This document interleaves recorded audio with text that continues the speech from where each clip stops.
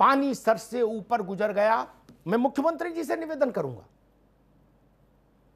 आपके सदप्रयासों को जो लोग पलीता लगा रहे हैं, माननीय मुख्यमंत्री जी, और वो आपके मातहत भी हैं मुलाजिम है उत्तर प्रदेश सरकार के, ऐसे लोगों को बिना समय गवाए डासना जेल में प्रस्थान कराइए। इससे कम पर सुधार नहीं होगा, मेरी बात लिख लीजिए।